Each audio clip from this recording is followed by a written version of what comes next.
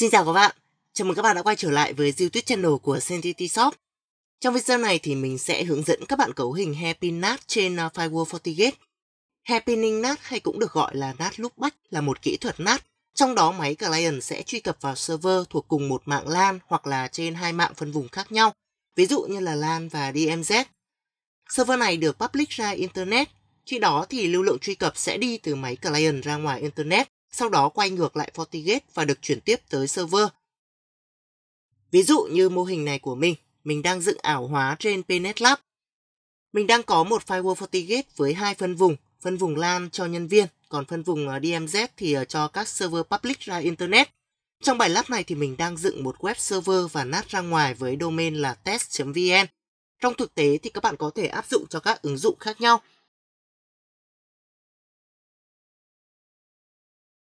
Trên server mình đang cài IIS và sử dụng web mặc định của WinServer. Trong IIS mình cũng đã bind the web này vào IP 192.168.0.100 của server với port 80.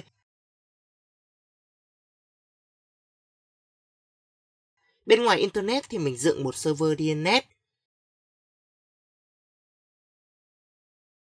DNS mình đã cấu hình các bản ghi để phân giải từ tên miền sang IP1 của FortiGate Trên FortiGate mình sẽ nát IP 192.168.0.100 port 80 ra IP1 trên FortiGate để các máy tính từ ngoài Internet có thể truy cập được.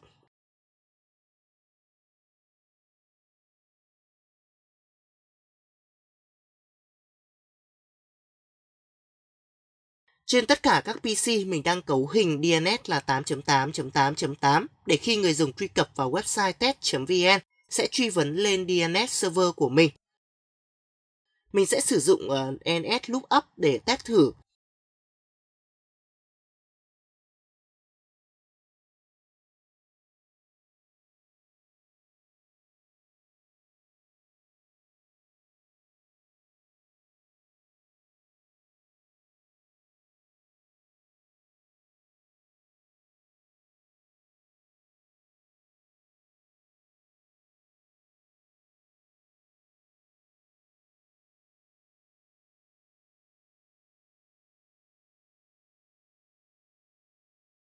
Ok, cả hai PC khi truy cập vào test.vn đều đã phân giải ra IP1 trên FortiGate. Bây giờ chúng ta sẽ cùng xem traffic sẽ đi thế nào nhé. Trường hợp đầu tiên là với những client từ Internet. Đối với PC truy cập từ ngoài Internet thì đây là trường hợp thông thường rồi, nó sẽ không phải là happy NAT. Các PC chỉ cần truy vấn tên miền test.vn tới DNS server. DNS server trả về IP là IP1 của FortiGate khi đó thì client truy cập vào IP1 đó và được NAT và IP nội bộ thông qua cấu hình NAT port của chúng ta thôi. Khi đó chúng ta cấu hình NAT port trên firewall là được.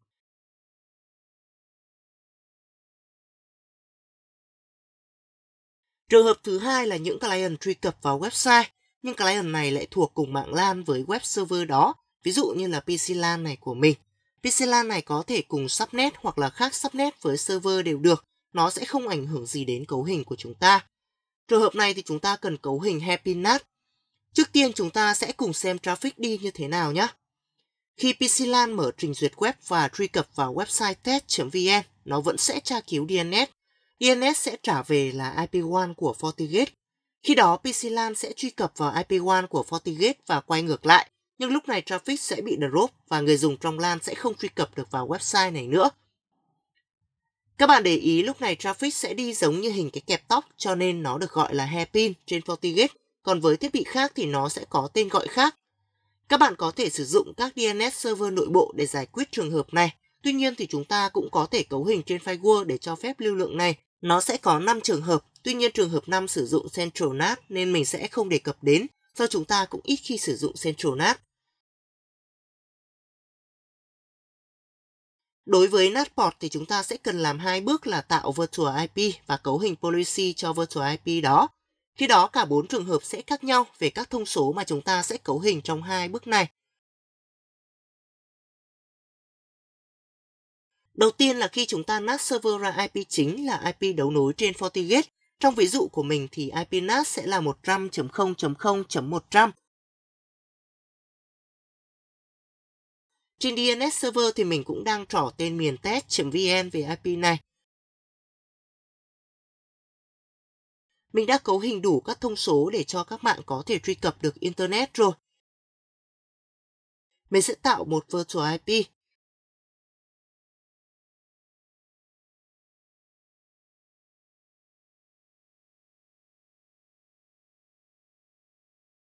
Với trường hợp IP NAT là IP đấu nối thì nó cũng chia thành hai trường hợp liên quan đến cách chúng ta chọn interface ở đây là any hay wan Tuy nhiên thì cả hai trường hợp cách cấu hình đều tương tự như nhau thôi. Nghĩa là với NAT ra IP đấu nối thì các bạn chọn interface là any hay wan đều được. Mình sẽ chọn any. Các thông số khác thì các bạn cấu hình như bình thường.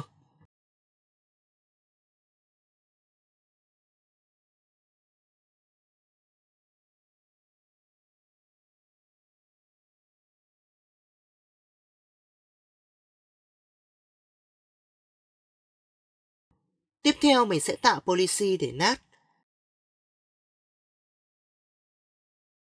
Policy cho Happy nát trong trường hợp này thì cũng giống các bạn nát thông thường thôi. Suộc vẫn là one. Des là DMZ. Des address sẽ là virtual IP của mình. Dịch vụ là HTTP.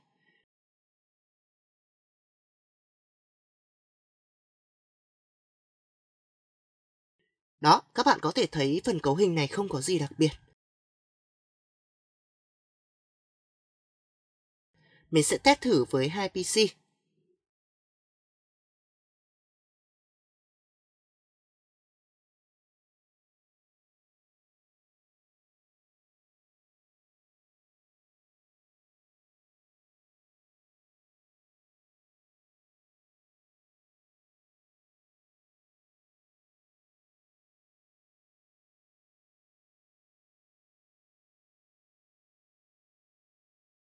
Ok, cả hai PC đều đã truy cập được vào website.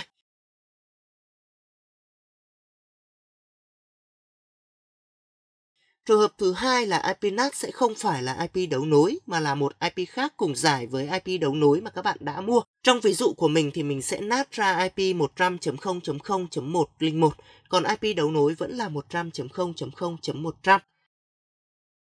Trước tiên mình sẽ sửa DNS server để trỏ lại tên miền test.vn về IP 100.0.0.101 đã.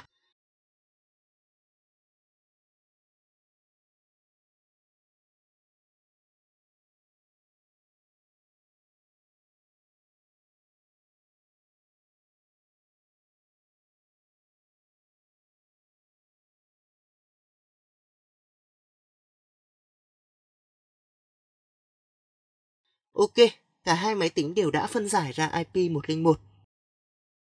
Mình sẽ xóa các policy và virtual IP cũ đi.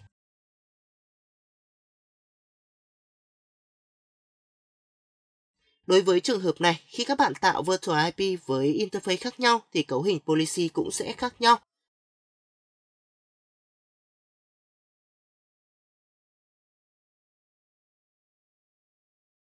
Nếu các bạn chọn interface là cổng WAN thì cấu hình nó sẽ tương tự như với trường hợp NAT trên IP đấu nối. Các bạn vẫn thiết lập các thông số như bình thường. IP WAN sẽ là 100.0.0.101.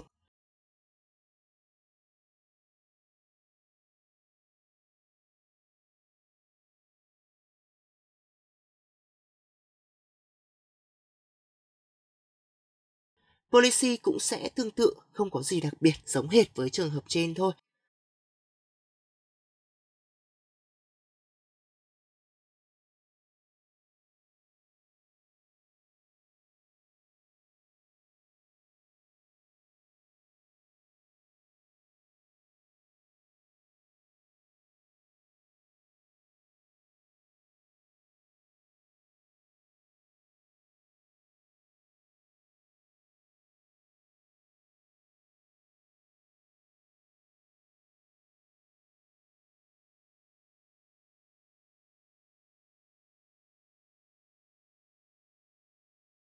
Các PC cũng đã truy cập được vào website.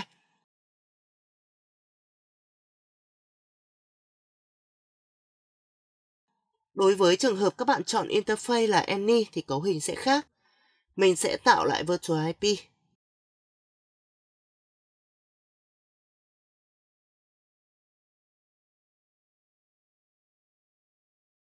Interface sẽ là any.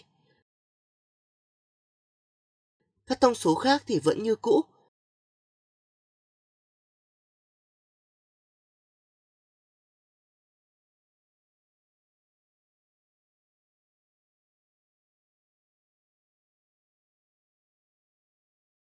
Trước tiên thì các bạn cần phải tạo policy NAT như bình thường để các PC ngoài Internet có thể truy cập được vào website.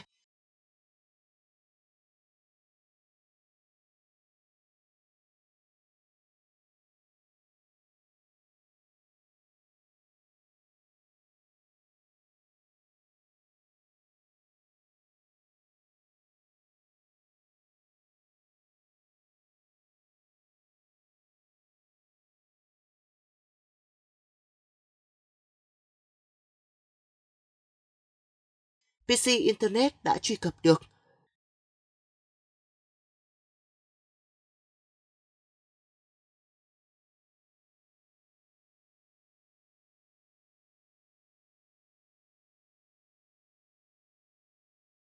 Còn PC LAN thì không, do traffic đã bị drop trên firewall. Trường hợp này các bạn cần phải tạo thêm một policy NAT từ mạng LAN sang DMZ nữa.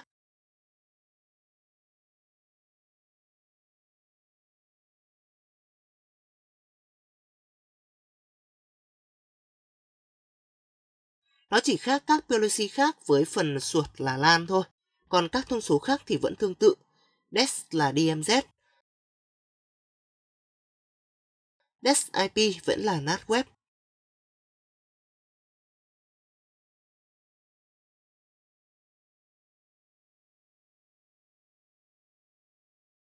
Sau đó chuyển policy này lên trên.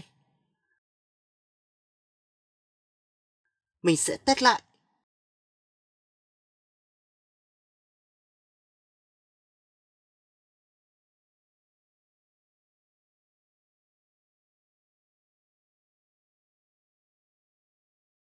Ok, bây giờ thì ờ, PC LAN đã truy cập được vào website.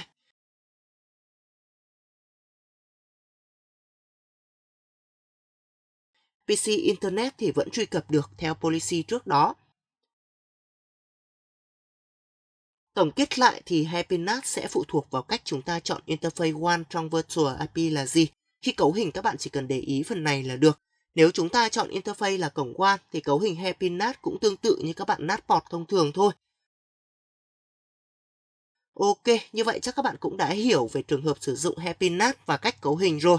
Nếu các bạn có yêu cầu hướng dẫn cấu hình tính năng nào, hãy để lại comment. CNTT Shop sẽ làm video trong thời gian sớm nhất có thể nhé. Và hãy like, share cũng như là subscribe để nhận thêm những video mới nhất từ CNTT Shop bạn nhé.